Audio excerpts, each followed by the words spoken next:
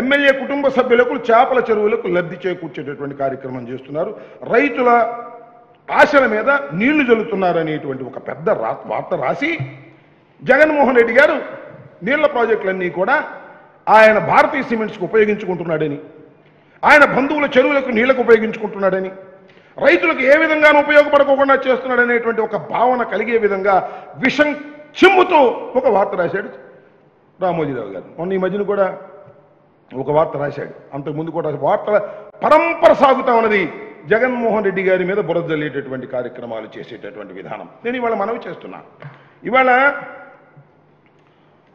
దీన్ని వివరంగా చెప్పవలసినటువంటి బాధ్యత కూడా ఉంది.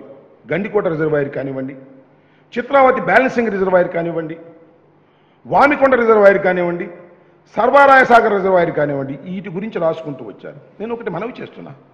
చంద్రబాబు నాయుడు గారి కాలంలో ఈ రిజర్వాయర్ల మీద దృష్టి పెట్టలేదు. ఈ రిజర్వాయర్లు ఫుల్ లెవెల్ అంటే ఎఫ్ఆర్ లెవెల్ వరకు నీరు తీసుకొచ్చేటటువంటి కార్యక్రమాలు చేయకోకుండా వదిలి వెళ్ళిపోతే జగన్మోహన్ రెడ్డి గారి ప్రభుత్వం వచ్చిన తర్వాత ఈ గండికోట రిజర్వాయర్ అంటే GNSS phase one including land acquisition and RR package మీద మరి మరి చేస్తే పన్నెండు వందల ఒక వెయ్యి రెండు వందల ముప్పై ఒక్క కోట్ల రూపాయలు వెచ్చించి గండికోట రిజర్వాయర్లో ఎఫ్ఆర్ఎల్ లెవెల్ వరకు నీటికి తీసుకొచ్చేటటువంటి ఘనత ఈ ప్రభుత్వం చేపట్టింది. దాన్ని మాత్రం రాయదీన ఆ తర్వాత జరిగినటువంటి మన చిత్రావతి బ్యాలెన్సింగ్ రిజర్వాయర్లో కూడా మూడు వందల ముప్పై ఎనిమిది కోట్ల రూపాయలు ఖర్చు పెట్టి ఆర్ఆర్ ప్యాకేజ్ తీసుకొచ్చి దానిలో పెట్టి ఖర్చు పెట్టి రైతులను అక్కడి నుంచి ఇళ్ళ ఊళ్ళని ఖాళీ చేయించి అది ఎఫ్ఆర్ లెవెల్కి నీటి తీసుకొచ్చే విధంగా అక్కడ చేయడం జరిగింది. అంతేకాకుండా సర్వారాయ సాగర్లో కానివ్వండి వినుకొండ వామికొండ రిజర్వాయర్లో కానివ్వండి అక్కడ కూడా మరి రెండు వందల పన్నెండు కోట్ల రూపాయలు వెచ్చించి వాటిని సమృద్ధిగా వాటిలో నీటి నింపేటటువంటి కార్యక్రమాలు చేసి కాలువలు తవ్వించి డిస్ట్రిబ్యూషన్ లైన్స్ పెంచే విధంగా ఒక ప్రణాళికబద్ధంగా చేస్తున్నాం. దానికి ఇంకా అడ్మినిస్ట్రేటివ్ శాంక్షన్ రావాలి. అది కూడా వారు రాశారు. ఇలా విషం చిమ్మేటటువంటి కార్యక్రమాలు రాసేటటువంటి పరిస్థితికి వచ్చారు. భారతీయ సిమెంట్స్కు నీళ్ళు దోడుకుంటున్నారు. ఎమ్మెల్యే కుటుంబీలకు చేపల చెరువులకు ఇస్తున్నారు. ఒకటి ఇక్కడ మనవి చేస్తున్నా. ప్రజలు కూడా తెలుసుకోవాలి. ఎందుకంటే ఈ విషపు రాతల గురించి ప్రజలు తెలుసుకోవాల్సినటువంటి అవసరం ఉన్నది.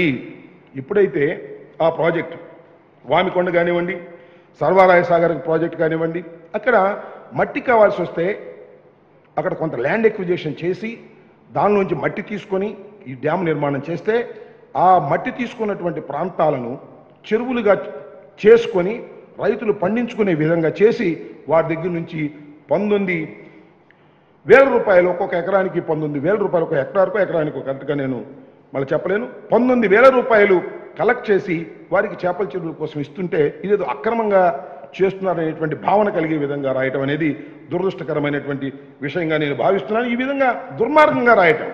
రామోజీరావు గారు.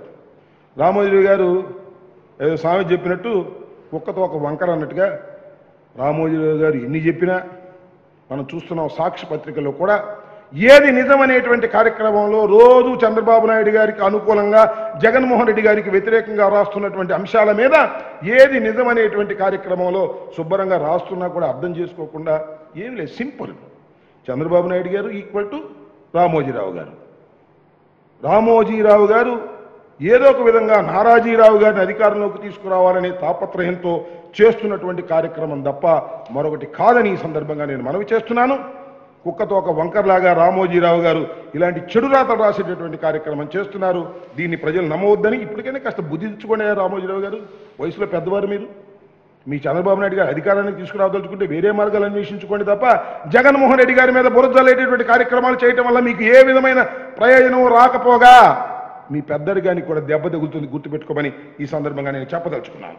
అంతేకాకుండా ఇంకొక విషయాన్ని కూడా ఇక్కడ నేను స్పష్టంగా ఒక ఇరిగేషన్ శాఖ మంత్రిగా చెప్పదలుచుకున్నాను. అదేమిటంటే ఒక మంచి శుభవార్త కూడా. నెల్లూరు బ్యారేజ్ ఒకటి అదేవిధంగా సంగం బ్యారేజ్. ఇవి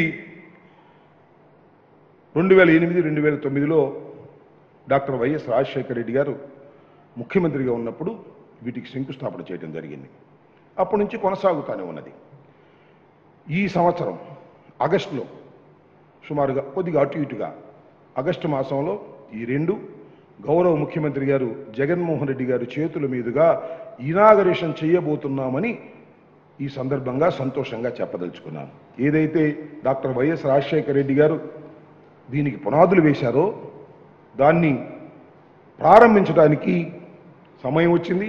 ఆగస్టు మాసంలో జగన్మోహన్ రెడ్డి గారి చేతుల మీదుగా నెల్లూరు బ్యారేజ్ అదేవిధంగా మరొకటి సంగం బ్యారేజ్. మీకు తెలుసు సంగం బ్యారేజ్ని మేకపాటి గౌతమ్ రెడ్డి బ్యారేజ్గా నామకరణం చేయి నామకరణం చేయడం జరిగింది.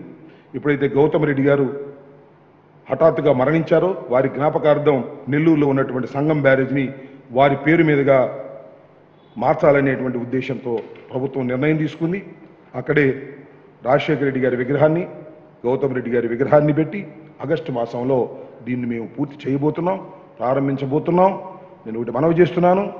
జగన్మోహన్ రెడ్డి గారు నా టైంలో ఓపెన్ చేయటం నా అదృష్టంగా దాన్ని నేను భావిస్తున్నాను మొట్టమొదటిసారిగా ఓపెన్ చేస్తున్నటువంటి ఒక మహా అద్భుతమైన ప్రాజెక్ట్స్ దీన్ని ప్రజలు ఆశీర్వదించవలసిందిగా కూడా ఈ సందర్భంగా నేను కోరుతున్నాను. ఇకపోతే రెండవది చంద్రబాబు నాయుడు గారు మన ఇక్కడ కూడా చెప్పారు ఏది మహానాడులో అలాగే నిన్న మినీ మహానాడులో ఛాలెంజ్ చేస్తున్నారు. చర్చకు సిద్ధమా?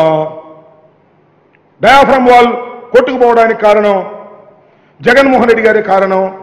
జగన్మోహన్ రెడ్డి గారు సెక్రటరీ సెక్రటరీని మార్చడం వల్ల అది కొట్టుకుపోయింది. రివర్స్ సెంటరింగ్ వేయటం వల్ల అది కొట్టుకుపోయింది. అధికారం లేకపోవడం వల్ల కొట్టుకుపోయింది అనేంటి ఇలాంటి చౌకబారు మాటలు చంద్రబాబు నాయుడు గారు లాంటి సీనియర్ పొలిటీషియన్ పద్నాలుగు సంవత్సరాలు ముఖ్యమంత్రిగా చేసిన వ్యక్తి మాట్లాడటం చాలా దురదృష్టమని మనం చేస్తున్నాం. డయాఫ్రమ్ వాల్ ముమ్మాటికి దెబ్బతినిపోవడానికి చంద్రబాబు నాయుడు గారు హయాంలో చేసినటువంటి తప్పుడు నిర్ణయాలు తప్ప మరొకటి కాదు. చర్చకు మేము సిద్ధం ఒకటి. ఎక్కడ చర్చిస్తారు? ఎలా చర్చిస్తారు? నేను అడుగుతా ఉన్నా. చంద్రబాబు నాయుడు గారు మిమ్మల్ని ఒక శాసనసభ్యుడిగా ఎన్నుకున్నారు. ఆ తర్వాత ప్రధాన ప్రతిపక్ష నాయకుడిగా ఎన్నుకున్నారు. శాసనసభలో చర్చించుకునే అవకాశం ఉంది. దమ్ముంటే శాసనసభకు రండి. శాసనసభ మీద శాసనసభలో మనం చర్చించుకుందాం. డయాఫ్రమ్ వాల్ ఎందుకు పోయింది? ఎలా పోయింది? ఎవరి అసమర్థత వల్ల పోయిందో కూడా అక్కడే చర్చించుకున్నావు రయ రావయ్య చంద్రబాబు నాయుడు గారు అంటే ప్రతిజ్ఞ చేస్తాను నేను రాను అని పారిపోయావు నువ్వు. ఇప్పటికైనా దమ్ముంటే చంద్రబాబు నాయుడు గారి దగ్గర సిన్సియారిటీ ఉంటే నిజంగా డయాఫ్రమ్ వాల్ జగన్మోహన్ రెడ్డి గారి ప్రభుత్వం వల్ల పోయిందని మీరు నిజంగా నమ్మితే కమాన్ రా. నువ్వు శాసనసభకు రా. చట్టబద్ధమైనటువంటి శాసనసభలో చర్చిద్దాం. ప్రజలు తేలుస్తారని కూడా ఈ సందర్భంగా నేను మనవి చేస్తున్నాను. ఈ సవాలుని చంద్రబాబు నాయుడు గారు స్వీకరించాలని మీ సవాలుని మేము స్వీకరిస్తున్నామని ఈ సందర్భంగా నేను చెప్పదలుచుకున్నాను. ఇంకా?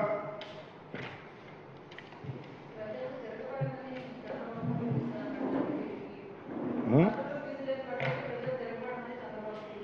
ప్రజలు తిరగబడమని చంద్రబాబు నాయుడు గారు పాపం ఎప్పుడూ పైగా ఇంకో ఉదాహరణ కూడా చెప్తాడు. శ్రీలంకలాగా తిరగబడండి. ఏందా నీకు పోయే కాలం వచ్చింది? నాకు అర్థం కాలేదు. ప్రజలు తిరగబడ్డారుగా ఒకసారి.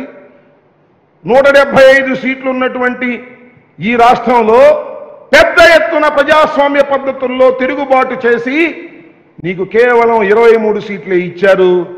నీ రాజకీయ వాసు వారసుడని ప్రకటించుకున్నటువంటి నీ అబ్బాయిని మంగళగిరిలో ఓడించారు. అంతకన్నా పెద్ద తిరుగుబాటు ఏముంటుంది ప్రజాస్వామ్యంలో? అంటే ఈయన ఉద్దేశం ఏంటి? హింసను ప్రోత్సహిస్తున్నాడా? తిరుగుబాటు చేసి అందరు మంత్రులు ఇల్లు తగలేయాలా? అందరు ఎమ్మెల్యేలు తగలేయాలా? మంత్రుల్ని చంపేయాలా? ఎమ్మెల్యేలు చంపేయాలా? ఏం పోయేగానే వచ్చింది చంద్రబాబు నీకు? అధికారం కోసం ఎంతకైనా దిగజారే దుర్మార్గమైన మనస్తత్వం కలిగిన వాడివి నువ్వు. ఏదో ఆయన తోడలుడు ఒక పుస్తకంలో రాశాడు. ఏం పుస్తకం అది? ఈ చరిత్ర? ఏం పుస్తకం అది? ఆ పుస్తకంలో రాశాడు. ఏంటి? బస్సులు తగలేమని ఈయనే చెప్పాడంట. ఏది? మన పైటాల రవి చనిపోయినప్పుడు హింసను ప్రోత్సహించినటువంటి వ్యక్తి చంద్రబాబు నాయుడు అని ఆయన తోడలేడు వెంకటేశ్వరరావు పుస్తకంలో రాశాడు.